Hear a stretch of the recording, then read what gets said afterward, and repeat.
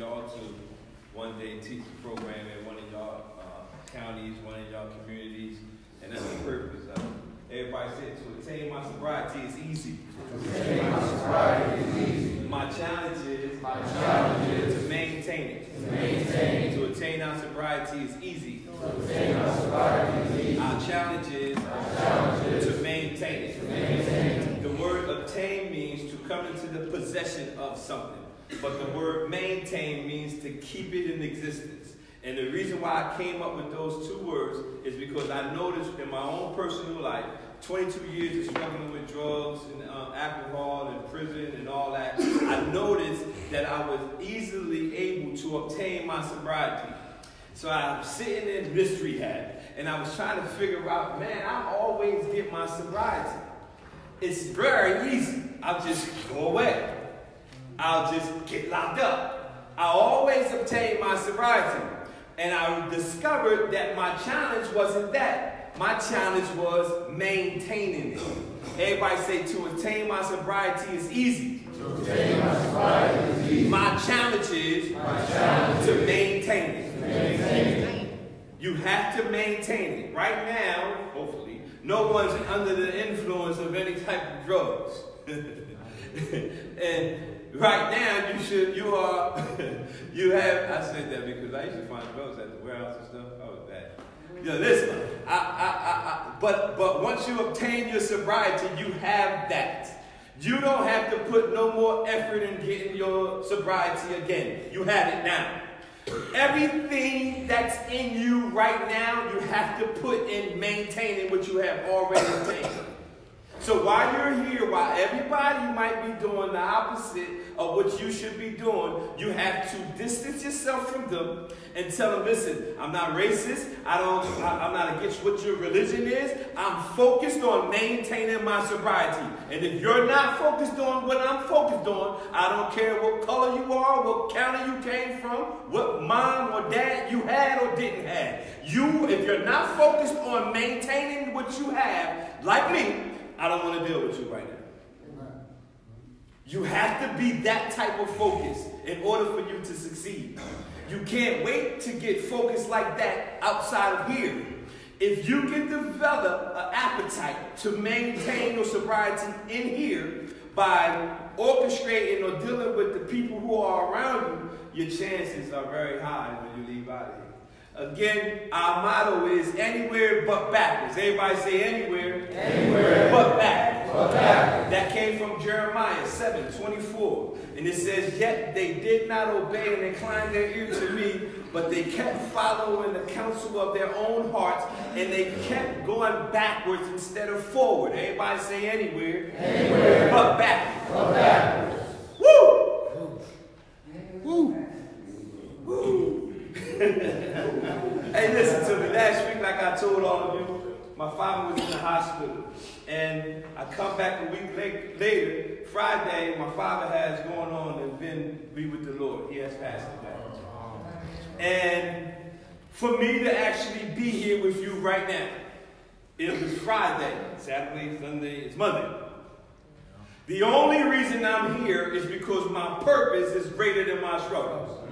The bracelet that y'all have on that I had my wife give y'all is not just a saying to me. and I honestly want us to be right now at my mother's house like a little kid, comforting in my mom. Let me tell you something that I learned about the strength of my mom. The strength from my mom and my father, what I learned from my parents, is amazing. Now, granted, when you have a death in the family, when a wife or a husband suffers the death of their spouse. When people come over your house, they're supposed to come over their house to do what for you? Come on. Yesterday, somebody came over our house, my mom's house. They were crying more than my mother. And my mother was over there. It's going to be all right. So my wife's sitting there like, hold on. The next person come over here crying, I'm kicking them out. Because the purpose of you coming but my mom was like, yeah, it's going to be all right. My wife looked at her and said, your husband died, not her. but it showed something about my parents. That's the the type of strength that I possess in me. That even though in the midst of adversity, I'm able to do what I am called to do. Everybody say anywhere, Anywhere. but back. back. Let's go to work. And the beauty about it is, man, I'm so excited. I, I, I, I don't want to say I can't wait for my father's funeral. But my father had a drug addiction as well. But he came, he defeated his giant, and he defeated his addiction and had like 20 or 30 years away from it. And while I was in it, he used to preach to me and tell me that I could do it too. And I just didn't believe him because I'm like, I can't do what you do, man. You one of them, you ever know them type of, like, I, I don't want to say some men ain't men, but you know one of them man's mans, mm-hmm. one of them, like, you, you shake their hand, you be like, man. He's one of them type of men. And the beauty of it is, he seen, he lived long enough to see what he told me I could do. Amen. So I have the beautiful honor to preach my own father's funeral. Amen. I'm so pumped up. I know that. I'm going to preach my father's Hallelujah. Hallelujah. just to show him I got it, Daddy. Your boy did it. He able, he was able to see what he told me I couldn't, what I could do, even though I didn't believe. Everybody say anyway. Anyway. But back. Back. So I got extra motivation on not going back because I want my dad to have the last memory of seeing me on this side, what I was doing. Page 20. Here's the system. I'll show you what I mean. It says when two armies are at war and one of the armies wants to give up because they realize that they are defeated, they wave a white flag. Or when, when a boxer is taking a beating in the ring and the corner wants to stop the fight, they throw in the white towel. In this case, meaning your life, you are the one with the white flag or the towel in your hand, and you, and only you, have the power to wave it or throw it in. And that's called surrendering. And surrendering is the key to your victory. Everybody say surrender. Surrender. You have the towel in your hand. When a boxer's in the ring, my best friend Evander, when he was in the ring, if the person he was fighting, if he was beating him down, the corner, his opponent's corner, had that towel and they would throw it in. And I used to ask my, my best friend, what that mean? He says, he surrendered. He quit. Meaning now, right now, in this recovery walk that you have with these addictions, you have the towel in your hand. But only you, you don't have somebody in your corner that has to throw it in. You possess that ability to surrender. So you have to throw the towel in. Right now, in, in, in, an imaginary sense, everybody throw the towel in. Why you ain't throw your hand up? Everybody throw their hand It might seem simple, but I'm telling you, I told y'all in the beginning of the introduction before that minor adjustments deal with simplicity. You simply have to throw the towel in. Everybody say, I can't change the system. In a computer, if you don't have to be a computer genius, but in a computer, if you order something in a computer, when you punch in your information for a credit card, let's say you're buying something, and you punch in the information, you order what you wanted, close it out, you get off the computer. If you go back to the same computer, then go to try to order something else again, and you start punching in credit card numbers, anybody know what happens?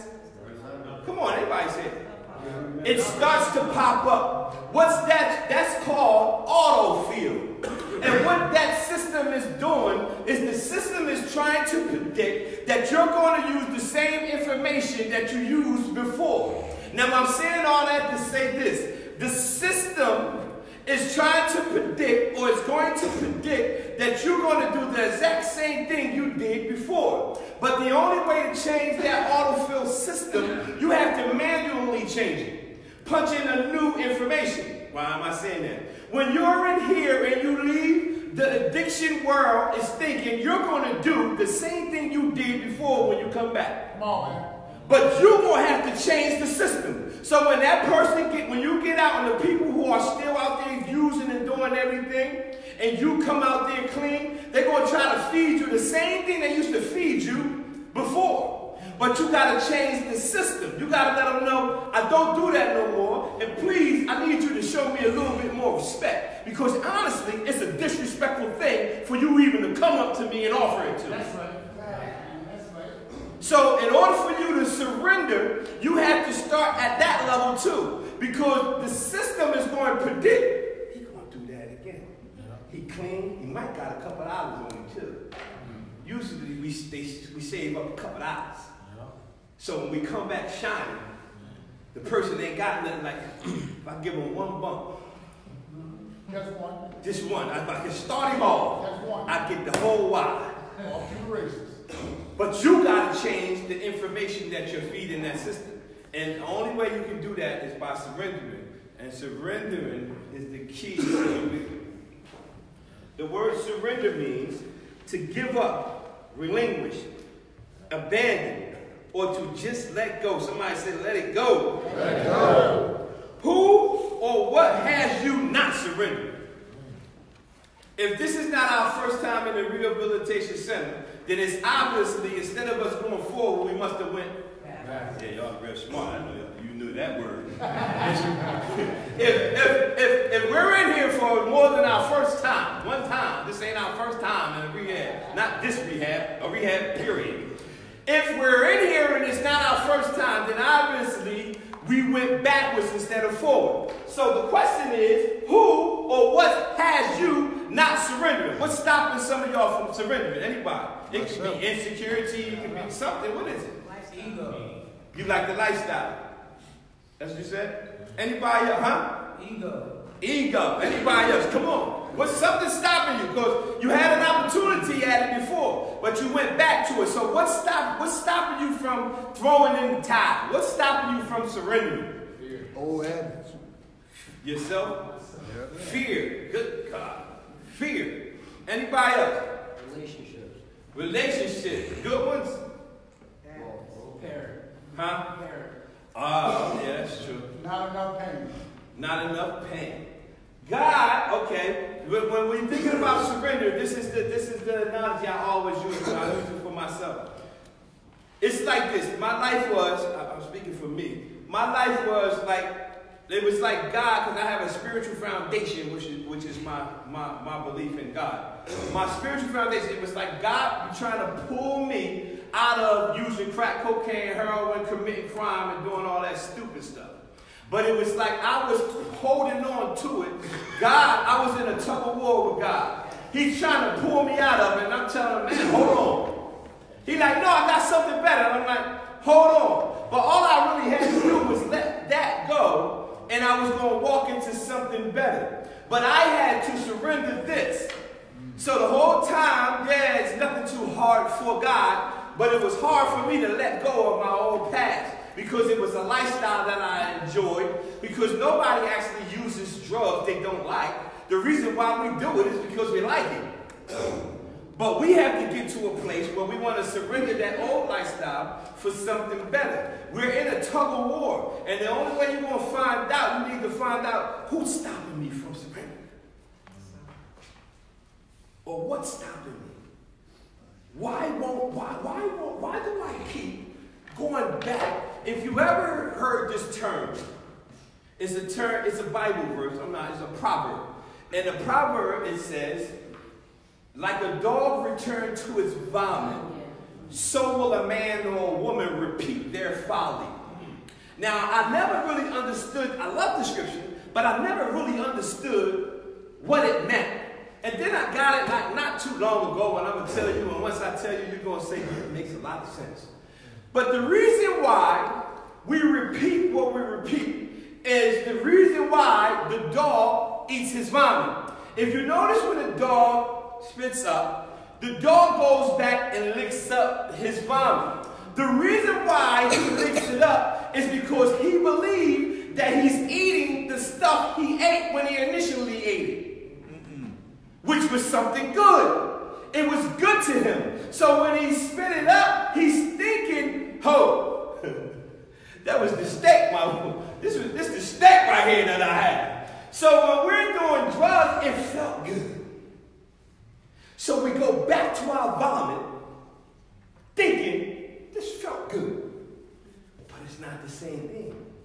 It will never, ever be like your first time. Ah. And the only reason we keep doing it is because we're chasing that first time. Let me give you a secret. That first time will never be the same. You could take 20 years off. Go try it. It will never be the first time we did it. Everybody say anyway. What do you think about a person who gives up? Y'all can answer that. What do you think about a person who gives up? Okay. What's the hardest area for you to surrender or change? What's the hardest area for you to surrender or change? Right, Huh? right.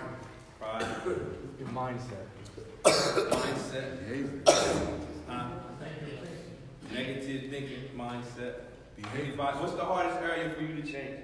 Behavior. Training system, Huh? getting the system for change. Yeah, that's what we, we, I'm gonna beat this system up. We steady getting more smoked out. Anybody else? What's the hardest area for you to surrender or change? Behavior. Change. Huh? Behavior. Hmm? Mm. Change, listen, change must be structured. Old patterns get reinforced unless a new discipline is introduced to override the old pattern. What does that mean? Change, if you want to change, let's use his analogy, thinking. In order for you to change your old patterns, you have to introduce your old pattern with a new behavior. In order for you to override it, if you, if you just go off of your old patterns, you'll come here, you'll get clean, you'll, you'll get feel good about yourself. You get out, you go back to the same neighborhood, and we do it all over. You come in here, you go home, you do the same thing. That's a pattern.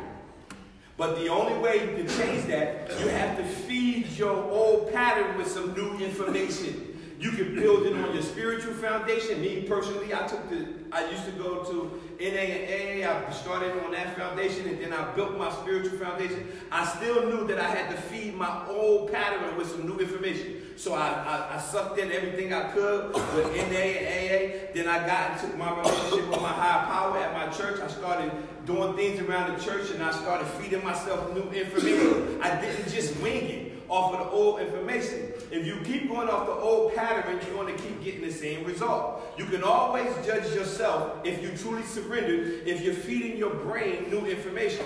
While y'all here, y'all have one thing, y'all have a testimony in your hand of a man who did and sat in the same seat you're sitting in. So don't just sit here and say, I can't do this, I can't do that. You can take some of the books that you read in this particular workbook. You can build it off of some stuff that you're studying on your own. Don't just go to work in the warehouse and the trucks and everything and just say, well, my day is over. Mm-mm, no, it ain't. Because your day wasn't over when you was getting high. Sleep wasn't even an option. I can't miss getting high you sleep. Sleep wasn't an option. So if you you gonna have to sacrifice sleep sometime. Get up earlier. If they got you getting up at six, learn to get up at five. Feed your brain. Don't just go through the old patterns. I'm telling you, if you leave here and you don't feed yourself new information, new information, you're gonna go off of the old pattern. You have change must be structured. Everybody say change. Change. Must be structured. Old patterns, get reinforced, unless, a new discipline, is introduced to override, the old pattern. I'm gonna print that out and get it to all y'all. Mm-hmm. Change must be structured. In order for you to change, man or woman, in order for you to change, like he said, his negative thinking, in order for you to change negative thinking, it must be structured. And what's the structure? You gotta feed it new information. If you don't feed it new information, you're gonna keep getting the same result. And I'm not telling you by something I read. I'm telling you something I did for 22 years until August 2009. And this past August, that was nine years, I have been clean. Nine years, I have been. I have been feeding my old pattern, structured information, new information, finding new information. Have you ever thought about surrender? Do a part of you want to truly surrender? Anybody?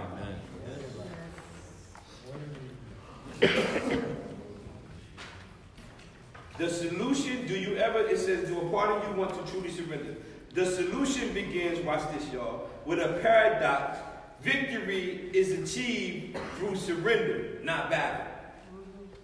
You gain, remember I said surrender is the key to the victory. That's the title of the chapter. Surrender, surrender, victory is achieved through surrender, not fighting. Like I'm saying, a lot of people keep trying to fight the system. Like I'm gonna beat this system. The the drug system, the, the, the addiction system is undefeated if you keep playing with it. You can all you can't you can't get victory in it by battling it. No, I'm gonna do it and you ain't gonna make me dope sick. Oh, you do it, you're gonna get dope sick. You gotta your your your victory is in you surrendering and saying, you know what? This lifestyle is not for me anymore. Your surrender is not in you battling it, this thing. Don't battle it. Just get out of it. There's going to always be somebody who want to try something. You know how many people you talk to and you, you did something and you know that ain't going to work and they sitting there trying to convince you it's going to work. And you sitting there like, you know what? You start giving, and say you fixing something you, you fixed it, you know how to fix it. You good at tools, you good at stuff. And somebody telling you this, this, they don't even have the right nuts and the bolts and you sitting there like, no. And you start giving them the tools like, here, go ahead, let me see you. Because you already know this is not going to, I know it ain't going to work. They turn the water on water everywhere. but you, you even give them the tools. That's how addiction is. Addiction will try to get you, drugs will try to get you to negotiate. But you won't really it. You only get victory by surrendering, not battling the drug. Trying to show the drug that I can handle you. And that's how most people leave rehabilitation centers and they die. Because they thinking they got the same type of system when they left. And as soon as they do one bag, it's over. The tolerance and everything is totally different. They trying to battle the drugs, so you gotta surrender to that. So many people I encounter each day struggle with the idea of surrender. It is almost as if they will they will have developed barriers, page 31, around their hearts that keeps the world at an emotional distance. Recognizing those obstacles that stand in your way is the first step toward a strong faith that you can surrender. One of the key obstacles to surrendering is what? Pride. Somebody said that. Yo, the hardest area to surrender is my pride. Listen, we may not all admit this, but all of us have this in abundance. The good news is there's a known cure called what? Without a doubt, it will take a humble person to surrender one bad lifestyle for a better lifestyle. Like he was saying, if I'm telling you, in addiction, the, one of the main things why a man or a woman won't surrender is because of their pride. It's something that they're trying to prove to somebody else or themselves, but there's a known cure, what it's called. Bow down. We just don't like to bow down. We just have to surrender. If we truly surrender and humble ourselves, pride keeps us not surrendering. Humility tells us, you know what? I tried. 22, uh, 22 years I tried. Since I was 16 years old. I tried addiction, tried rehab. I just kept trying. I'm a don't know. I'm gonna be able to work and get high on weekends. That never worked. It starts out good, that ain't work. So I said, man, what I'm, I'm gonna just get my first check. I'm gonna just, I'm gonna quit my job. I'm gonna get a package. I'm gonna hustle and get high. All it was pride. I was just trying to be negotiate with addiction. We come up with all these strategies. And all, as soon as I sat on that bench, I was in Bristol, New Jersey, and I sat on that bench and I said, you know what, I give up. And I made it. As simple as we said, humbled myself and said, you know, that's it. I didn't have no counselor there. I didn't have no pastor. I didn't have no mentors. It was me and the bench, and that bench still there today. I sat on that bench and I simply said, the white towel. Threw it in, I surrendered. I simply said, you know, that's it. All of y'all are in the possession of that same ability. If you ever get to, I'm not saying you're not there, but if you ever get to that place where you say, you know what? I don't know what career I'm gonna have after this program. I don't know what spouse I'm gonna have. I don't even know if I'm gonna get my kids' relationships back. I don't know. The only thing I know is I'm willing to go anywhere.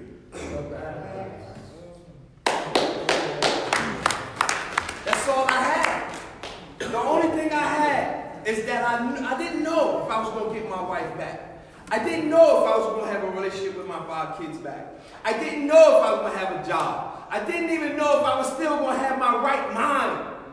The only thing that I did know is that I wasn't going back into that.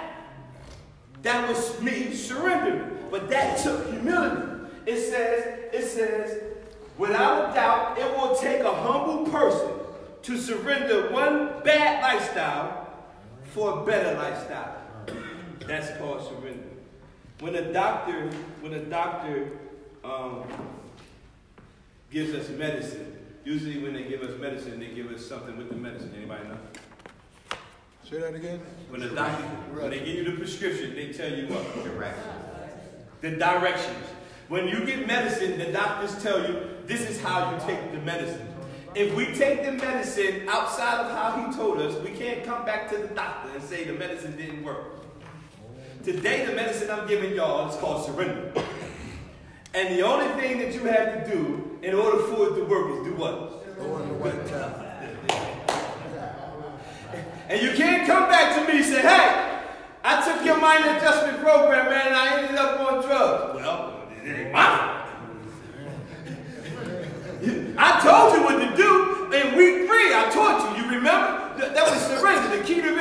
Exactly. That was the medicine that I prescribed. Surrender is the medicine that I'm giving you. And the way you take it is you surrendering. You can't, you can't complain about something that's not working in your life if you're trying to straddle the fence. Y'all know what I mean, right? This ain't a lifestyle. This, this successful recovery life is not a lifestyle that you can straddle the fence. It don't work for men or women. In a natural, that wouldn't work. Spiritually, it won't work. Recovery, it won't work. You can't do.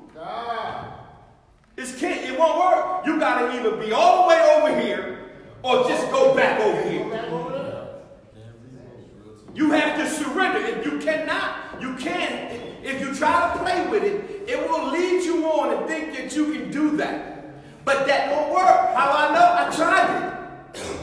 I said I'm gonna do a little bit of this, a little bit of that, a little bit of this, a little bit of that. And I noticed the little bit over here and over there comes to start getting a little shorter. A little bit of this, a whole lot of that. it's, it, this side start getting real little. Everybody say anywhere, anywhere. but back. Yo, I'm about to get out of here, man. I'm sorry, man. But the next chapter, I want y'all, I'm going to give y'all the next 33, 34, 35, and 36. Y'all read on your own. I'm going to give y'all these um, enemies of your sobriety, and then we're going to be done. Y'all got that? 33, 34, 35. Y'all do it on your own. Really, each chapter, this chapter, just go through it. But I'm going to give y'all eight enemies of your sobriety. One of the enemies of your sobriety, meaning these things right here is are, are against you to try to get you to go back. Anybody say anywhere. Anywhere. Go back. One of the enemies of your sobriety, if you ain't got no pen or whoever do, are, is boredom. The state of being weary and restless through lack of interest. Boredom is one of the enemies of your sobriety. Another one is self-pity, dwelling on one's own sorrows and misfortunes. Self-pity is another enemy of your sobriety. Another one is loneliness, being without company. If you're always somewhere and you're lonely, that's an enemy of your sobriety. Another one is, watch this, extreme happiness, a very high degree of well-being and contentment. You can be one, too extremely happy. It could be your next door neighbor's birthday. Watch it. It's an enemy of your sobriety. The next one is disappointment, the state or emotion of being disappointed. Disappointment is one of the enemies of your sobriety. When you get disappointed, normally when you're in recovery, that addiction try to get you to go back because it's a disappointment. Another one is isolation, the condition of being isolated. If you constantly are isolating yourself, that's not a good place to be in. That is an enemy of your sobriety. Another one is I'm tired, in need of sleep or rest or weary. Don't just exhaust yourself giving to other people, even me. I can't keep exhausting myself giving to people and not get rest and get some sleep, and because I'll get tired and worried. That's an enemy of your sobriety. And the last one is intolerant. Watch this. Unable or unwilling to endure. Unable or unwilling to endure. You notice, when you're in recovery, you're unable or unwilling to endure nonsense or stuff that you have to put up with. But when you're in, when you're out there actively using, you put up with anything. Everybody say anywhere. Anywhere. But back. If you look at page 32, it says, the greatness of a man's power is in the measure of his surrender. And that was written by William Booth. Anybody know who William Booth is? Founder of Salvation. Army. Who? Founder He's the founder of the Salvation Army. And he says the greatness of your power is in the measure of your surrender. What he means is, if you want me to tell you how great a man or woman can be, tell me how much they're willing to surrender. God bless you.